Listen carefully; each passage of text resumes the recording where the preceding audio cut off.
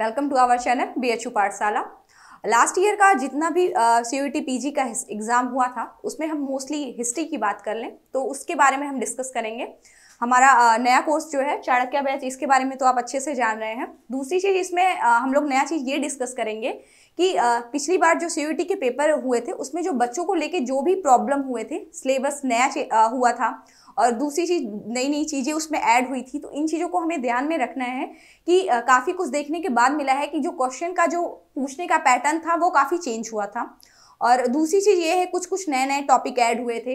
तो इस बार के जो सी का पेपर है, उसमें हमें ये चीज़ ध्यान रखना है कि वो जो नए नए टॉपिक ऐड हुए हैं, वो कौन कौन से हैं? किन किन चीज़ों के बारे में हमें ज़्यादा से ज़्यादा ध्यान देना है? किन चीज़ों पे ज़्यादा फोकस करना है किसकी उतनी इंपॉर्टेंस नहीं रही है, जो पहले पूछी जाती थी। इस चीज़ को आपको ध्यान रखना है। दूसरी चीज़ जो सबसे ज़्यादा इंपॉर्टेंट ये रही है कि जो नए रिसर्च हुए हैं, जितना भी सी पेपर को लेके इस बार हुआ है, जो नए नए क्वेश्चन पूछे जा रहे हैं, उनका पैटर्न जो रहा है नए नए जो इन्फॉर्मेशन है, उनको ऐड किया जा रहा है। तो इन चीज़ों को ध्यान में रख के बी एच पाठशाला मैं रिया, आप लोगों के सामने ये जो नया सिलेबस है, उनमें किन किन चीज़ों पे ज़्यादा फोकस करना है इस चीज़ों को कहने आ, कहना है बताना है आपको। और ताकि इससे क्या है कि आपकी जो पढ़ाई है वो काफ़ी अच्छे से हो सके। सबसे पहले ये देख लें कि जो हमारा एंशियंट हिस्ट्री का सिलेबस है इसमें जो स्टार्टिंग हो रही है वो स्टोन एज से हो रही है। स्टोन एज में मोस्टली मैं आपको अच्छे से पता है कि इसको हम तीन फ़ेज़ में लेके पढ़ते हैं। और इसमें आपको क्या क्या देखना है कि सबसे पहले किन किन लोगों ने या कौन कौन से हिस्टोरियन या रिसर्चर ने इसको तीन तीन भागों में बांटा है।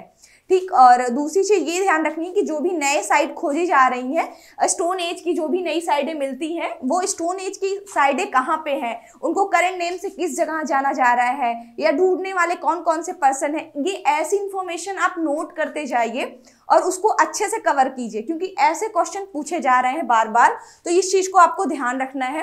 दूसरी चीज़ ये है कि इन तीनों साइडों में जो इनके एविडेंसेस मिले हैं, वो कहाँ कहाँ मिले हैं किन किन क्षेत्रों में मिले हैं, और वो अलग अलग किन किन कल्चर से रिलेट करते हैं, ठीक है? इस चीज़ को आपको ध्यान रखना है। मोस्टली स्टेट करके पूछता है कि किस किस स्टेट में पाए गए हैं। उनका उस टाइम पे जो नेम दिया गया है, जैसे अतरंजित खेड़ा का पूछा जाता है, कहाँ पे है? तो आपको ये चीज़ ध्यान रखना है कि जो जो भी साइड हम पढ़ते हैं, वो साइड किस स्टेट में है, कब खोजी गई है? ठीक है, इन चीज़ों को आपको ध्यान रखना है, क्योंकि कई बार एक ही पर्सन कई अलग अलग साइडें खोजते हैं तो उनका क्रॉनिकल वे में क्वेश्चन दे देता है कि आप इनको क्रॉनिकल वे में सेट करिए कि कौन पहले खोजी गई, कौन बाद में खोजी गई, कौन उसके बाद खोजी गई। ऐसे क्वेश्चन मोस्टली स्टोन एज से पूछे जाते हैं और इंडस वैली सिविलाइजेशन में पूछे जाते हैं, क्योंकि इसकी जितनी साइडें खोदी जाती हैं, उसके बाद उनको ऑर्डर में लगाने के लिए बोला जाता है। और दूसरी चीज़, जो जो भी उसको खोजते हैं, उनके नाम भी दे दिए जाते हैं कि पहले उत्खनन किसने कराया, उसके बाद किसने कराया उसके बाद किसने कराया? किसके गाइडलाइंस में हुआ है? कितने समय के लिए हुआ? ये ऐसे नए टाइप से क्वेश्चन पूछे गए हैं तो इस चीज़ को आपको ध्यान रखना है।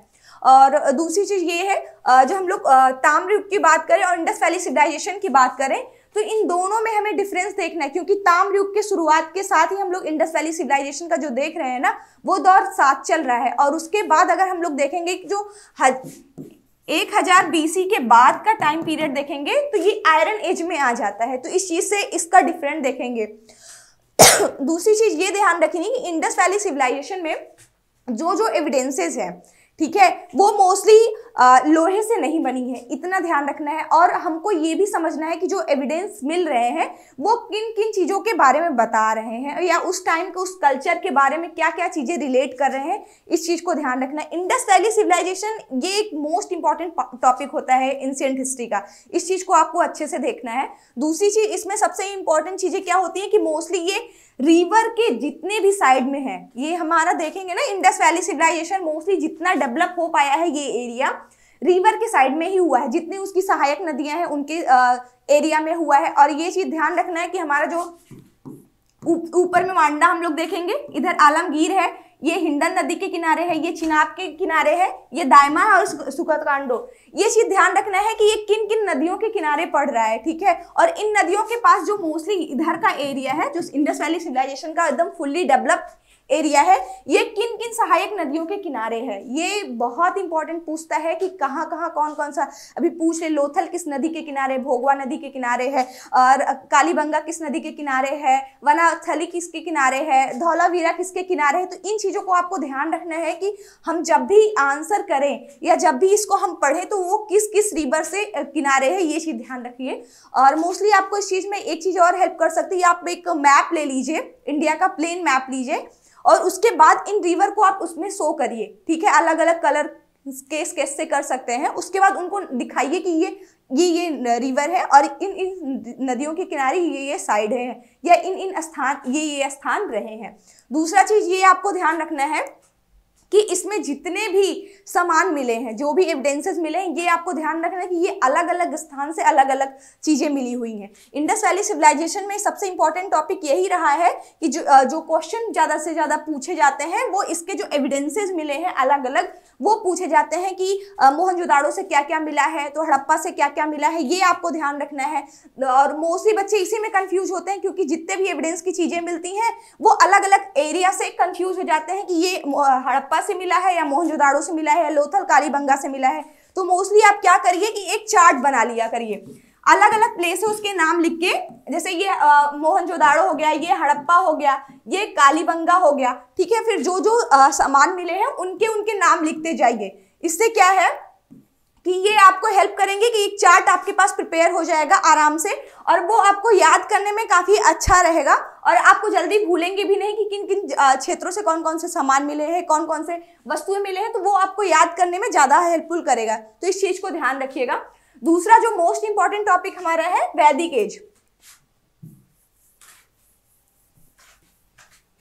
इस चीज़ में आपको यही सिलेबस के डिस्कस करने में हम लोग सबसे ज़्यादा मेन मोटिव इस बात को ध्यान में रख के चल रहे हैं कि आपको ज़्यादा से ज़्यादा जो टॉपिक कवर करने में दिक्कत होती है, वो दिक्कत ना हो, क्योंकि सिलेबस तो आपको हर जगह से मिल जाएगा। ऑल ओवर उसको पढ़ने और समझने में दिक्कत होती है। तो इस चीज़ को आपको ध्यान रखना है कि हमें टॉपिक कैसे स्टेप बाय स्टेप कवर करना है, जिससे हमारी जो कंफ्यूजन है, वो कंफ्यूजन ना हो, क्योंकि सबसे ज़्यादा कंफ्यूजिंग सब्जेक्ट ही हिस्ट्री होता है। अब हम बात करेंगे वैदिक एज की। वैदिक एज में हम लोग ये भी जान रहे वैदिक में मोस्टली जो वैदिक एज का फ़र्स्ट फ़ेज़ है, उसमें ऋग्वेद के बारे में ही डिस्कस किया गया है।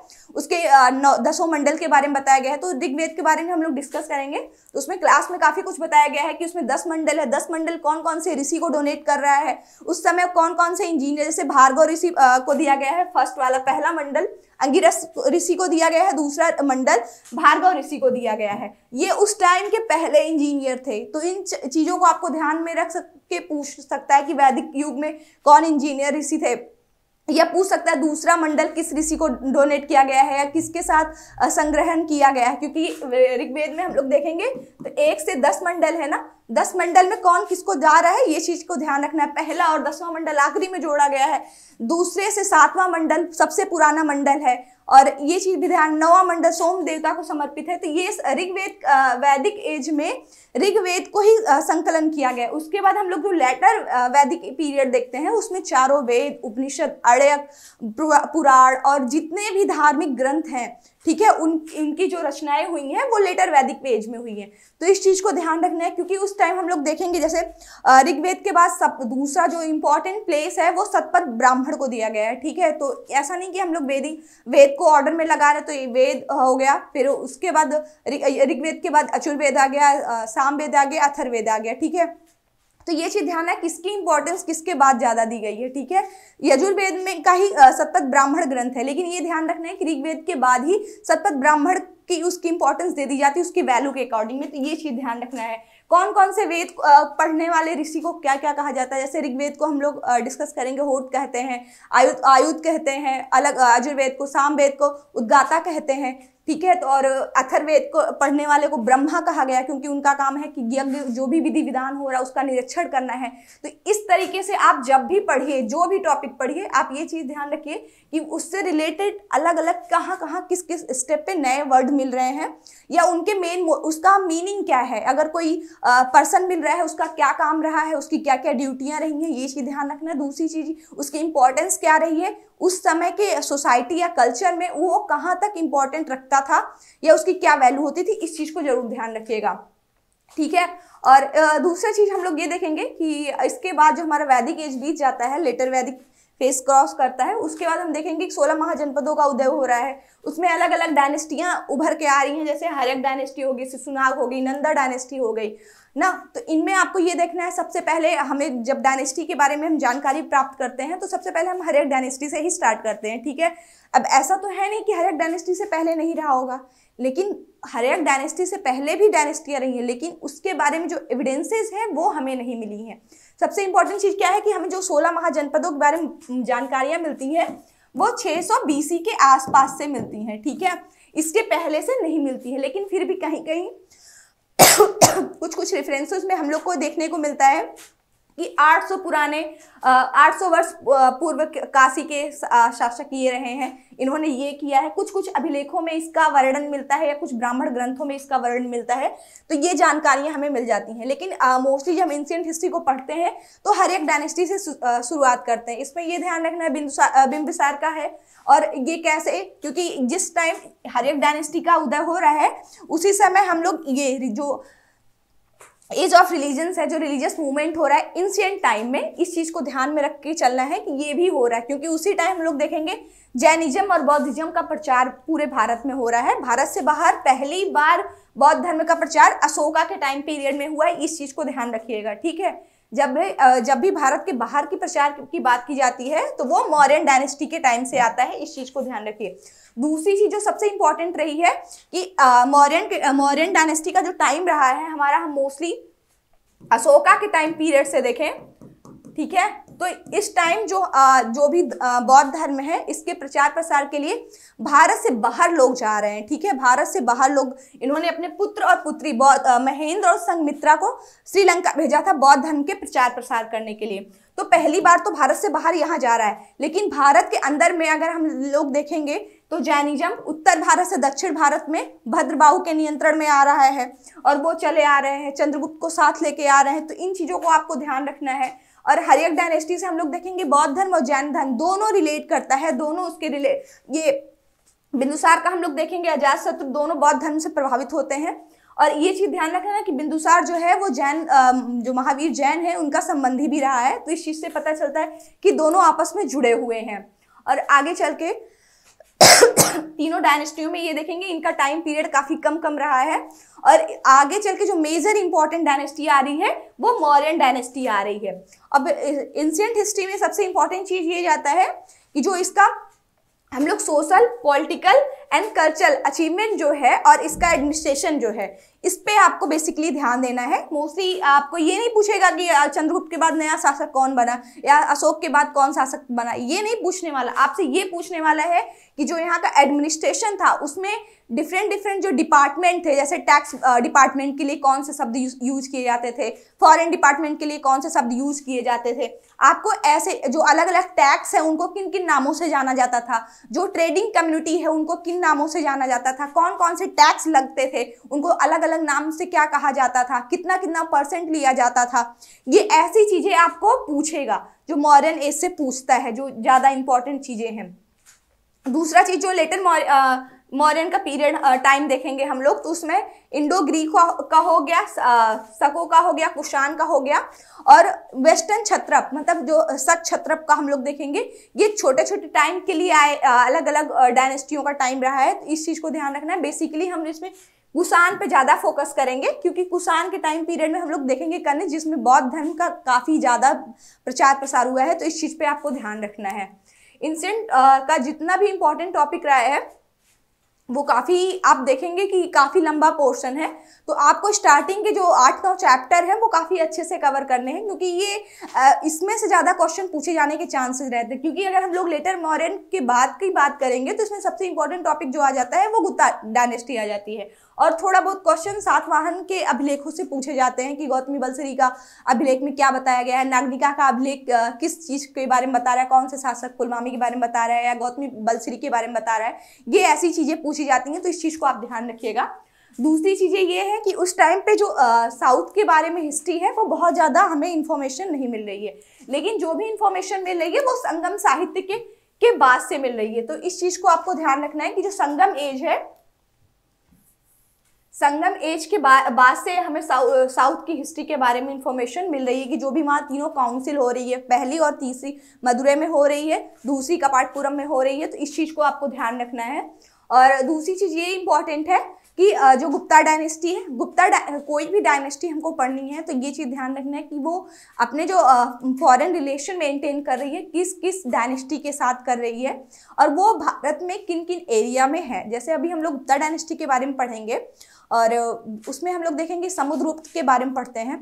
हालाँकि संगम साहित्य से पहले का तो कोई इन्फॉर्मेशन नहीं है, लेकिन जब हम समुद्रगुप्त की बात करते हैं तो ये देखते हैं कि उसने उत्तर में नौ, उत्तर में नौ और दक्षिण में बारह शासकों को पराजित किया है। उस टाइम ये पूछा जाता है आ, काफ़ी फ़ेमस क्वेश्चन रहा है कि समुद्रगुप्त के टाइम पीरियड में दक्षिण में पल्लव डायनेस्टी का शासक कौन रहा है? तो अगर आपको अच्छे से पता होगा कि ये बारह शासक कौन रहे हैं तो इसमें एक विष्णु गोप नाम का शासक रहा है जो पल्लव डायनेस्टी का शासक था जिसको समुद्रगुप्त ने हरा दिया था। तो आप आसानी से इसका आंसर दे सकते हैं। मोस्टली आपको ऐसे बारह नाम ये और नौ नाम उत्तर के, ये चीज़ ध्यान रखना है। अलग अलग जो विद्वान उस समय लिखे हैं इनके बारे में, वो उन्होंने इनके जो विजय को धर्म विजय कहा है, ठीक है? और मतलब साम्राज्य विस्तार की नीति तो थी ही, इसको भी अच्छे से एक्सप्लेन किया हुआ है। प्लस अलग अलग राजाओं के स्टेटमेंट रहे हैं, कुछ इस चीज़ को भी बताया गया है। तो ये चीज़ आपको ध्यान रखना है। जितनी भी आप एडमिनिस्ट्रेशन पढ़िएगा उसका एडमिनिस्ट्रेशन डायनेस्टियाँ पढ़ेंगे, उसमें एडमिनिस्ट्रेशन टॉपिक को अच्छे से कवर करिएगा। मैं इसलिए इस चीज़ पे बार बार फोकस कर रही हूँ एडमिनिस्ट्रेशन पे, क्योंकि क्वेश्चन ज़्यादा से ज़्यादा एडमिनिस्ट्रेशन से ही पूछे जाते हैं या उनके कल्चर अचीवमेंट से पूछे जाते हैं। तो इस चीज़ पे ध्यान रखिएगा, क्योंकि ये कंफ्यूज करने वाला काफ़ी टॉपिक होता है। दूसरी चीज़ जो इंपॉर्टेंट रही है ये चीज़ मैंने बताया कि जैसे अभी हम लोग गुप्ता डायनेस्टी पढ़ेंगे तो वकाटक डायनेस्टी को पढ़ेंगे, फिर सक्षत्रप को भी पढ़ेंगे, क्योंकि चंद्रगुप्त द्वितीय सक्षत्रप को पराजित पराजित करके स्वयं शासक बनता है ना? इससे पहले समुद्रगुप्त के बाद रामगुप्त शासक बनता है, लेकिन वो निर्बल योग्य रहता है। तो हमें एक अलग डायनेस्टी के बारे में पढ़ी। फिर उसने अपना रिलेशन मैट्रिमोनियल रिलेशन अलग डायनेस्टी से कर जैसे वकाटक के बारे में पढ़ेंगे कि उसने रुद्रसेन से अपनी पुत्री का विवाह कर दिया था प्रभावती गुप्त का। इससे वकाटक से उनका रिलेशन मेंटेन हुआ। इसके बाद हम लोग दक्षिण में देखेंगे कि और भी जो डायनेस्टियाँ हैं वो डेवलप हो रही हैं। वो अल, उनके बारे में पढ़ना है ठीक है? जैसे राष्ट्रकूट हो गया चोर हो गया चेर हो गया पांड हो गया। इनके बारे में पढ़ना क्योंकि उस टाइम ये कुछ सामंत होते थे। अलग अलग जो फ़ेमस डायनेस्टी स्ट्रॉन्ग डायनेस्टियाँ होती थी, उनके सामंत के रूप में काम किया करते थे। लेकिन जैसे ही जो मेन डायनेस्टियाँ कमज़ोर हो जाती थी तो उसके सामंत विद्रोह करके स्वयं स्वतंत्र शासक बन जाया कर रहे हैं। ये चीज़ आपको ध्यान रखना है। दूसरी चीज़ जो इंपॉर्टेंट रही है जो मोस्टली क्वेश्चन पूछा जाता है गुप्ता डायनेस्टी के बाद तो वो चालुक डायनेस्टी का पूछा जाता है। चालुक चालुक का हम लोग देखेंगे ये तीन में डिवाइड हो रहे हैं। एक वेगी के चालुक, कल्याणी के चालुक और वातापी के चालुक। ठीक है तो इन तीनों चालुक में आपको कंफ्यूज नहीं होना है। और अलग अलग चालुक्यों के, जो हिस्ट्री रही है कौन कौन फ़ेमस स्ट्रॉन्ग शासक रहे? जैसे पुलकेशिन द्वितीय का रहा है पुलकेशिन द्वितीय के बारे में उसके जो अभिलेख है, उससे क्वेश्चन पूछा जाता है कि एहोल अभिलेख किसका है? ठीक है? अब ये आपको पता चल गया पुलकेशिन द्वितीय का है। इसका अब अब ये भी क्वेश्चन बन सकता है एहोल अभिलेख को किसने लिखा है? तो ये आपको पता अगर रहेगा तो रवि कीर्ति ने लिखा है। अभी एहोल अभिलेख में किस चीज़ का वर्णन मिलता है? हर्षवर्धन के पराजित होने का वर्णन मिलता है। इस चीज़ को आपको ध्यान रखना है। अभी पूछ सकता है एहोल अभिलेख में पुलकेशिन द्वितीय ने हर्षवर्धन की सीमा को कहाँ तक रुद्ध कर दिया था? तो ये चीज़ आपको, अगर आप अच्छे से उसको पढ़ेंगे तो बता देंगे नर्मदा के ऊपर तक ही उसको रूद कर दिया था। मतलब दक्षिण भारत में प्रचार प्रसार करने से रोक लगा दिया था। तो इस चीज़ को ध्यान रखना है। एक एक एविडेंस जो जैसे मोस्टली अभिलेख जो है, ये हमारा जो इंसिडेंट का टॉपिक है, सबसे जो हम रिसोर्सेज के बारे में पढ़ते हैं कि जो इंसिडेंट हिस्ट्री की रिसोर्सेज है या जो भी टॉपिक है तो उसमें जो अभिलेख है, ये काफ़ी इंपॉर्टेंट टॉपिक होता है। जितने भी अभिलेख है, अभिलेख के बारे में अगर हम लोग पढ़ेंगे तो मोस्टली अशोका के जितने भी अभिलेख हैं, आप उसको अच्छे से देखिएगा, उसमें अलग अलग लैंग्वेज में लिखे गए हैं। तो इससे भी क्वेश्चन पूछे जाते हैं कि कौन कौन से अभिलेख किन किन भाषाओं में लिखे गए हैं। कुछ अभिलेख दो दो भाषाओं में लिखे गए हैं, ठीक है? जैसे एरगुड का है, वो ब्रह्मी और खरगोष्ठी दोनों में लिखा गया है। सरे कूना का है, वो अरेमाइक और ग्रीक दोनों अभी दोनों लैंग्वेज में लिखा गया है। ये दोनों अशोक के अभिलेख ही हैं, ठीक है? अलग अलग क्षेत्रों में पाए गए ये चीज़ ध्यान रखिएगा। उसके जितने अभिलेख हैं, सबकी भाषा मोस्टली प्राकृत है, लेकिन वो किन अलग अलग भाषाओं में लिपि है। ये ब्रह्मी लिपि खरोष्टी लिपि, ये लिप है, उस लिपि में किन किन लिपियों को महत्व ज़्यादा दिया गया है, ये चीज़ आपको ध्यान रखना है, ठीक है? फिर दूसरी चीज़ ये है कि जैसे हम लोग इंसियंट टाइप के इंसियंट टाइम में जो स्टार्टिंग में देख रहे हैं बौद्धिज्म और जैनिज्म का रिलीजन रिवोल्यूशन हो रहा है, वैसे ही अगर हम लोग सातवीं, आठवीं और नौवीं सदी की बात कर लेंगे तो वैष्णव धर्म और शैव मत का ज़्यादा प्रचलन हो रहा है। शैव मत का ज़्यादा से ज़्यादा देखेंगे तो जो दक्षिण भारत का एरिया है इसमें ज़्यादा वो डेवलप हो रहा है, ठीक है? दक्षिण भारत में मोस्टली जिस भी डायनेस्टी को हम बात कर ले, जैसे एग्ज़ाम्पल के लिए चोल डायनेस्टी की बात करें तो सबसे ज़्यादा जो सौ मत के कट्टर समर्थक रहे हैं, वो चोल डायनेस्टी के रहे हैं। उसके बाद और भी जितनी डायनेस्टियों को देखेंगे, उसमें चोल और सौ मत को और वैष्णव मत दोनों को दिया गया है, ठीक है? जितना उत्तर भारत में नहीं प्रचार प्रसार हुआ है, उससे दुगनी तेज़ी से दक्षिण भारत में हुआ है, इस चीज़ को आपको ध्यान रखना है। और दूसरी चीज़, हम लोग नौवीं और दसवीं शताब्दी की बात करेंगे तो मोस्टली जो त्रिपक्षी संघर्ष हो रहा है ट्राईपार्थी स्ट्रगल हो रहा है, ये लगभग सौ सालों की हिस्ट्री को कवर करता है, ठीक है? जिसमें प्रतिहार, पाल और राष्ट्रकूट। इन तीनों डायनेस्टी के बारे में अच्छे से बताता है तो इन तीनों की हिस्ट्री हम कवर करेंगे। तो कन्नौज पे नियंत्रण करने अधिकार करने के लिए ट्राई पार्टी स्ट्रगल बन रहा है जिसमें तीनों पार्टियों का काफ़ी मेजर रोल रहा है तो इस चीज़ को आपको ध्यान रखना है। और दूसरी चीज़ एंशियंट इंडिया में हम लोगों को ये देखना है कि मोस्टली कुछ जैसे गुप्ता डायनेस्टी में हो गया आ, कुछ स्थापत्य का निर्माण हो रहा है मंदिर मंदिर कला शैली का जो विकास हो रहा है वो भी गुप्ता डायनेस्टी से हो रहा है। बुद्ध का अगर हम लोग देखेंगे और पीछे हम लोग जाए तो बुद्ध का गांधार शैली और मथुरा कला शैली, इन दो शैलियों में मूर्ति निर्माण की बात हो रही है। अब जैसे एग्ज़ाम्पल के लिए हम बात करें तो गुज सारनाथ का, आप लोग मोस्टली सारनाथ देखे होंगे। सारनाथ में जो बुद्ध की मूर्ति है, वो भूमि स्पर्श मुद्रा में है। ये गुप्ता डायनेस्टी में डेवलप की गई मुद्रा है, ठीक है? तो इन चीज़ को ध्यान में रखना है। कुशान के टाइमिंग पे उनकी खड़ी हुई मूर्ति का प्रचलन ज़्यादा रहा है, जो गांधार पश्चिमी शैली से ज़्यादा प्रभावित रहा गांधार में। और जो मथुरा कला शैली है, वो देशीय शैली से प्रभावित रही है। तो वो अपनी आध्यात्मिक मुद्रा में और विभिन्न तरीकों के लेटे हुए मुद्रा में उस चीज़ को प्रचलन करा रही है तो इस चीज़ को ध्यान रखना है। दूसरी चीज़, मंदिर का अगर हम लोग और देखेंगे तो गुप्ता डायनेस्टी से देखेंगे और दक्षिण भारत में मंदिर के विकास की बात करेंगे तो विमान शैली का हो रहा है प्रदक्षिणा पथ का हो रहा है। तो इन चीज़ों को आपको ध्यान रखना है कि किन किन मंदिरों में किसका एग्ज़ाम्पल लिया गया है, ठीक है? किस मंदिर का विमान सबसे ऊपर है या विमान शैली गोपुरम का निर्माण किया जा रहा है, इन चीज़ों को आपको ध्यान रखना है। तो आप अच्छे से इंसिडेंट का टॉपिक कवर कर लेंगे। दूसरी चीज़ इंसिडेंट में ये इंपॉर्टेंट रही है कि कौन मुद्राएँ जिन जिन, जिनकी मुद्राएँ छपी हैं या जिन्होंने अपना अपना मुद्रा प्रचलन कराया है, वो कौन कौन से सिंबल यूज़ करते थे? उन मुद्राओं में, मोस्टली गुप्ता डायनेस्टी की बात कर लें या कुषाण डायनेस्टी की बात कर लें और उनके गोल्ड, जो कॉइन होते थे, वो गोल्ड होते थे, कॉपर होते थे, सिल्वर होते थे, इस चीज़ पे आपको काफ़ी से ध्यान रखना है। और दूसरी चीज़ इंपॉर्टेंट है उसके सिंबल क्या होते थे? जैसे आ, कहीं कहीं गरुड़ का सिंबल लिया गया गुप्ता डायनेस्टी का हो गया। तो गुप्ता डायनेस्टी के साथ ही वेंगी के चालुक्य भी गरुड़ डायनेस्टी को गरुड़ का सिंबल यूज़ करते थे। ये चीज़ आपको ध्यान रखना चाहिए। दूसरी चीज़ आपको ये चीज़ आप लॉजिक लगा सकते हैं। कि जो भी वैष्णो धर्म की है, क्योंकि गुप्ता डायनेस्टी में ही हम लोग देखेंगे वैष्णव मत का या भागवत धर्म का प्रचार प्रसार काफ़ी तेज़ी से हुआ। तो जो भी डायनेस्टी भागवत धर्म या वैष्णो धर्म का प्रचार प्रसार अपनी डायनेस्टी में ज़्यादा कर रही है तो मोस्टली वो भगवान विष्णु से ही रिलेटेड सिंबल को ज़्यादा यूज़ कर रही है। तो इन चीज़ों को आपको ध्यान रखना है। उपाधियाँ आपको अच्छे से ध्यान रखनी है कि किन किन शासकों की क्या क्या उपाधियाँ रही हैं तो ये ऑल ओवर आपका कवर हो जाएगा। चलिए इंसिडेंट का हमारा टॉपिक अच्छे से कवर हो गया है। और ऑल ओवर जो हमारा मेडाइवल और मॉडर्न का है वो भी हम डिस्कस करेंगे। और आप अच्छे से इसको कवर करिए। जो जो टॉपिक छूटा है या किसी की उपाधियाँ हैं मुद्रा की शैली है या जिन जिन चीज़ों के बारे में बताया जा रहा है आप उसको अच्छे से कवर करिए नोट करिए और अच्छे से आ, उन चीज़ों को हाईलाइट करते जाइए लर्न करिए और प्रैक्टिस सॉल्व सॉल्व करिए। ज़्यादा से ज़्यादा आप प्रैक्टिस करेंगे क्वेश्चन का तो वो अच्छे से हो जाएगा। चलिए ऑल द बेस्ट अच्छे से पढ़िए।